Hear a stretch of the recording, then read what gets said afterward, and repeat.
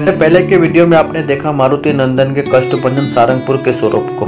और इस वीडियो में आप देखेंगे मारुति नंदन को बुरखिया दादा के स्वरूप में। यह स्थल भावनगर से 80 किलोमीटर, अमरेली से 30 किलोमीटर और लाठी से मात्र 10 किलोमीटर की दूरी पे अगर आप आना चाहते हैं ट्रेन से तो सबसे नज़दीक स्टेशन है डसा जंक्शन, जो मात्र 16 किलोमीटर की दूरी पे है।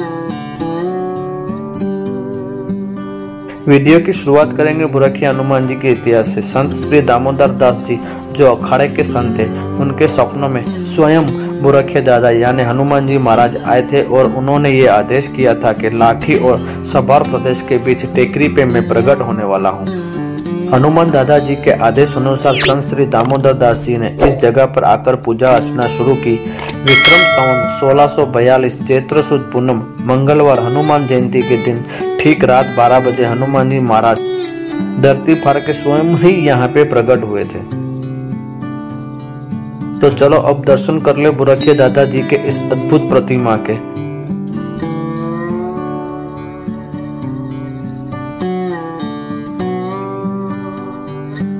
इनके बिल्कुल दाहिनी और पास में है संत श्री दामोदर दास जी की यह प्रतिमा और चरण पादुका, जिन्होंने सबसे पहले बुरखिया दादा जी की पूजा की थी।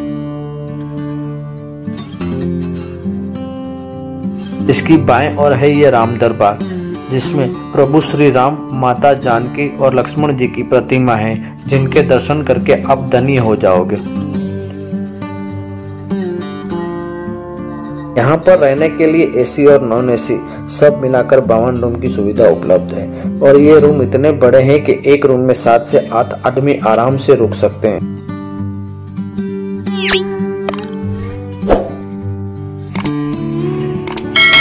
आम दिनों में तो आपको यहाँ पे रुकने के लिए आसानी से जगह मिल जाएगी। पर अगर आप किसी त्यौहार के दिन यहाँ पे रुकना चाहते हैं तो इनकी वेबसाइट और सेल नंबर आपको स्क्रीन पे नज़र आ रहे होंगे।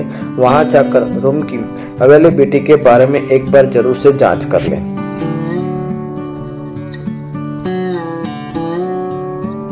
चाय और नाश्ते की सुविधा आपको यहाँ पे पूरा दिन मिलेगी। दोपहर के भोजन का समय 12 से ढाई बजे और शाम के भोजन का समय साढ़े आठ से लेकर दस बजे तक आपको घर जैसा ही स्वादिष्ट भोजन यहाँ पर मिलेगा, वो भी प्रसादी के स्वरूप।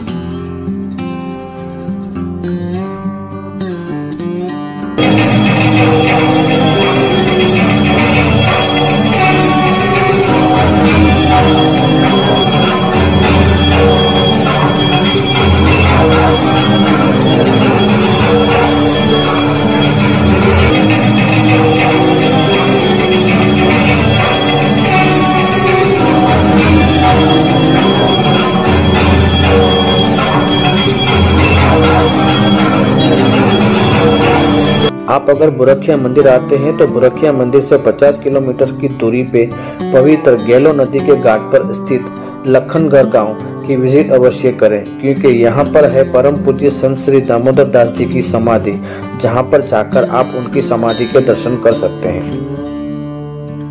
आज के वीडियो में बस इतना ही। जल्द ही मिलेंगे किसी नए वीडियो में नए टॉपिक के साथ। उम्मीद करता हूँ कि आपको ये वीडियो पसंद आया होगा। अगर पसंद आया है तो वीडियो को लाइक करें शेयर करें और मेरी चैनल को ज़रूर से सब्सक्राइब करें।